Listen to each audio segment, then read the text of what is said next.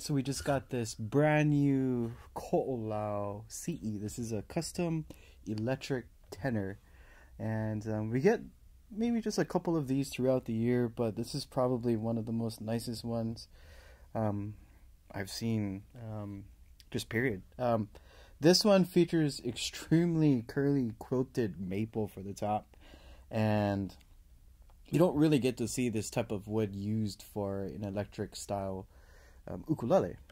And um, Ko'olau and um, Noah and Ryan did an amazing job with putting this together. Um, all of the playability that you um, would expect from a Ko'olau and more.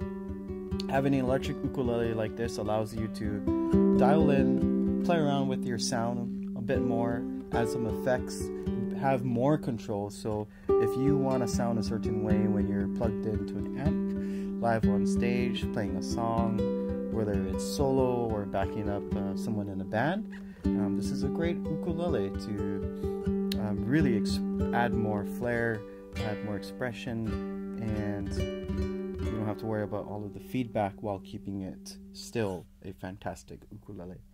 This, as you can see, as we turn it to the back, this is a black stain that they did on the the finish. If I'm not mistaken, um, this is going to be mahogany for the the back, and maybe take off this part.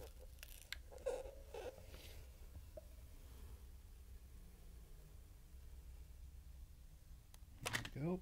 So as you can see, um, the the back of this um, custom electric tenor is dyed black, and we have a compartment here. So for those of you who are familiar with the Pono electrics, Pono um, electrics are usually passive, but we're dealing with a Ko'olau. So this is all built in-house here in Hawaii.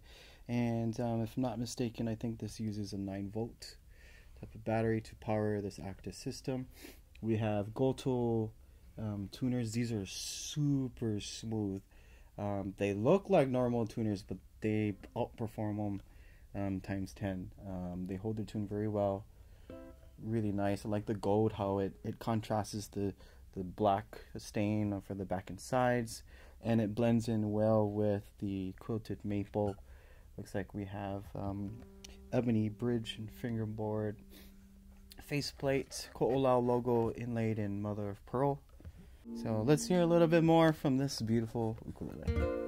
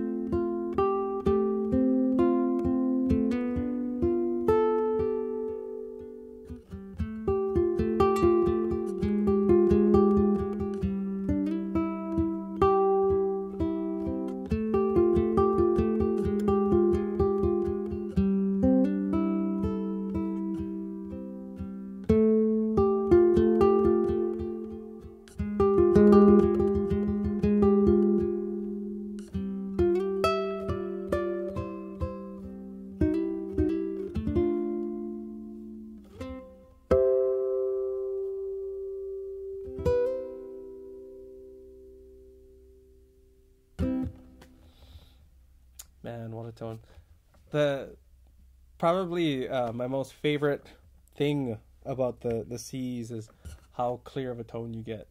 And it's not the kind of tone that you expect the first time you see it. Everybody thinks, "Oh, what is this like in electric ukulele?" and they expect it to sound like an electric guitar.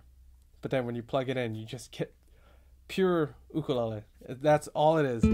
Pure ukulele signal and with an EQ, you don't have to worry about uh, feedback, and sometimes you can just plug it straight in, no EQ, and it, it sounds good. Um, what helps deliver that really good sound is the pickup, and there's an active pickup in here developed uh, through LR Baggs. LR Baggs has kind of like this special pickup. Um, they have a partnership with Ko'olau, developed specifically just for this instrument. So um, it's like the luxury version of the Pono TEs.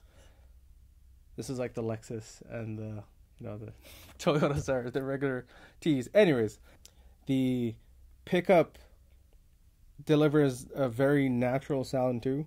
That is, uh, you know, like I was saying, something you wouldn't expect from, you know, just looking at it. So um, inside here, what helps acoustically too is there is a chamber that's that's routed out, and that does help acoustically. Um, it does translate through the pickup and through um, whatever kind of sound you're running very turn, well. Turn so off the volume and. For, yeah. so- yeah, so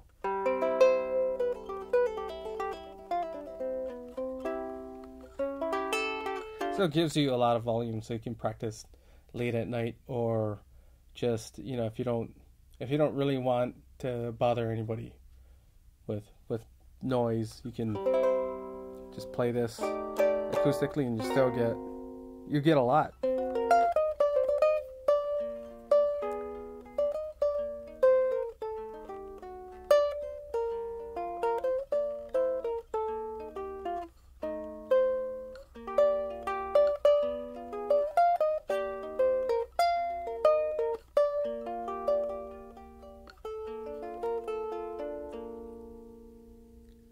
Yeah, fantastic sound, gorgeous instrument. Um, definitely, it's not only for the studio musician or performing um, musician. It's this is like an everybody's ukulele. You know, it's uh, kind of pricey, but it's worth every single dollar. Oh, I'm to say that. I I am to get one of these myself. In fact, it's already downstairs. But, anyways, the Ko'olau CE